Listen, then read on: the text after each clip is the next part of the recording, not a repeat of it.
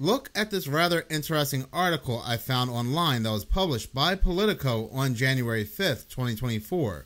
Now, I am going to use this article in tomorrow's video. Tomorrow's video has to do with how I believe, how I am theorizing, that there will be no 2024 presidential election, or if there is, there will be no president in 2025. This is not about prophecies or predictions, it's all about exploring what news and media are telling us right to our face. Now, remember, this article was created on January 5th, 2024.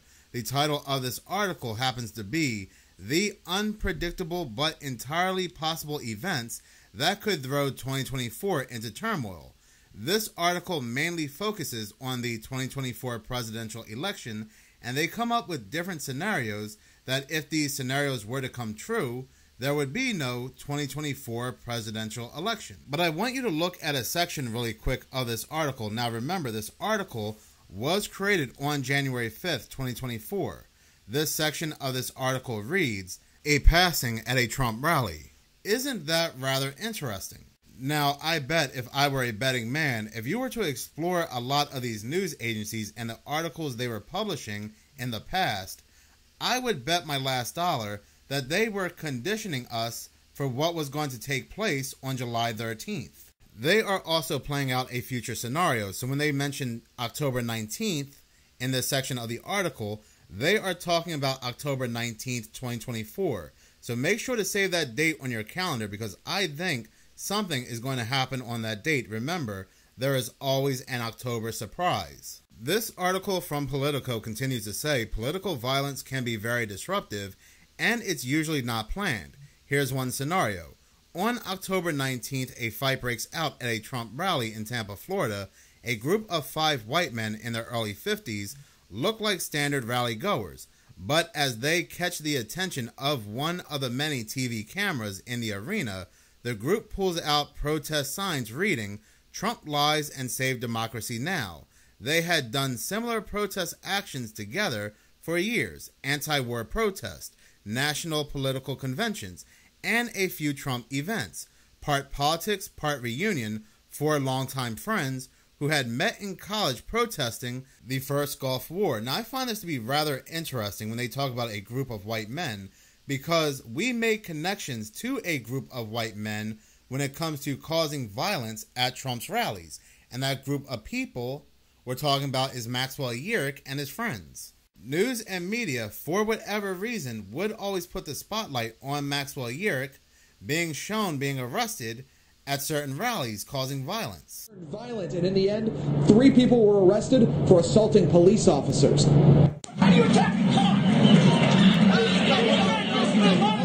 This is Kenan Hooper being taken away in handcuffs moments after police say he kicked two officers after they were pepper sprayed by protesters. While handcuffing Hooper, investigators say Lisa Kyler jumped on an officer's back. This is what they do to patriots! This video shows Maxwell Yerick being taken to jail. Investigators say he tried to fight an officer who had just been pepper sprayed.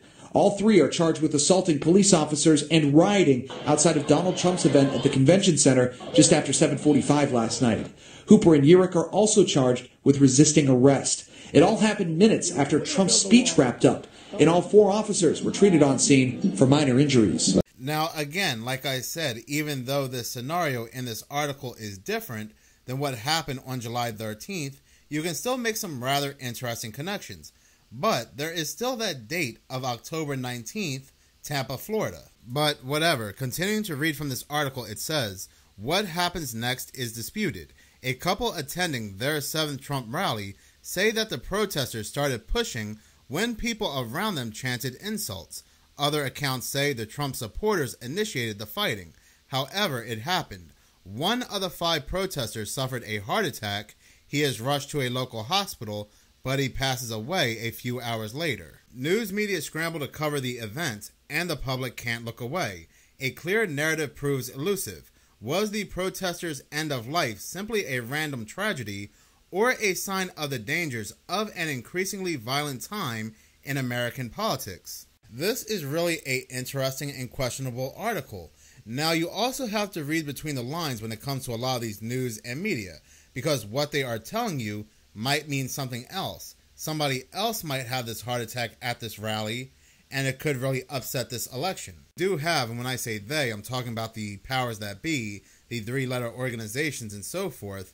They do have technology, what is known as a heart attack gun. When they fire this on you, there will be no traces that something was fired upon you. You will have a heart attack, and your autopsy will simply say you had a heart attack, and that was that. Who even knows when this article was even created and published? It does say January 5th, 2024, but this could be a recent article and they just tweaked the date. You never really know. It says January 5th, 2024, but again, you never ever know. Or this just proves our reality is one big script. Every day there's a new script.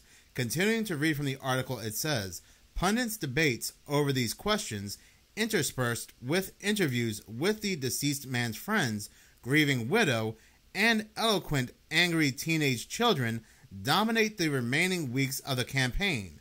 These stories drawn out much of Biden's messages about declining unemployment and legislative victories and distract from Trump's slogans about immigrants and making America great again.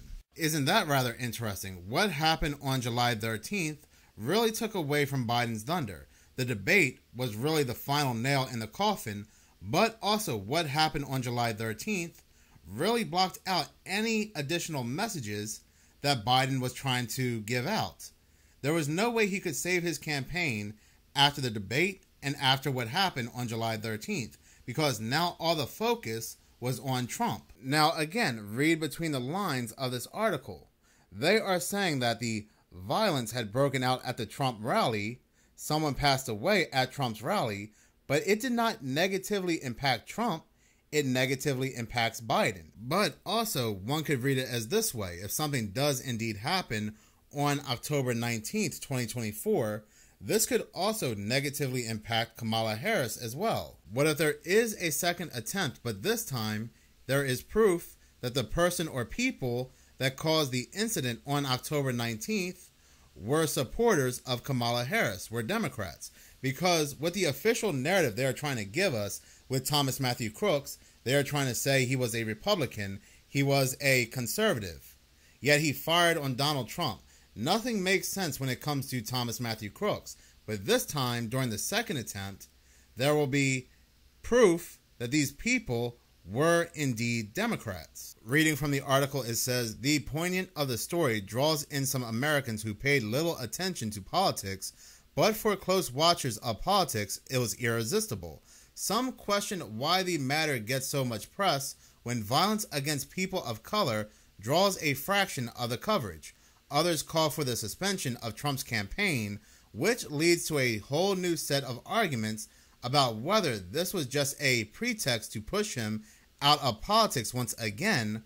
One cable network devotes an hour long program to a panel discussion about whether the Biden administration has done enough to curb political violence. And so this continues until election day. Now, again, you can see this as July 13th, or if you replace Biden with Kamala Harris, you can go ahead and try to see that this could be something that is going to take place on October 19th, because again, there is always that October surprise. So, like I said, and I mentioned multiple times in this video, mark those calendars down for October 19th. Also, mark your calendars down for tomorrow because I will have that nice sized video coming out about the election. So I do want to hear from you. Do you think these articles were conditioning us for July 13th? Or do you think something's going to happen on October 19th that will put the election on its head? But in any case, thank you so much for watching. If you like this channel and you want to see more, please subscribe. If you're already subscribed, please like, as any engagement does help the channel grow. Once again, thank you so much for your support.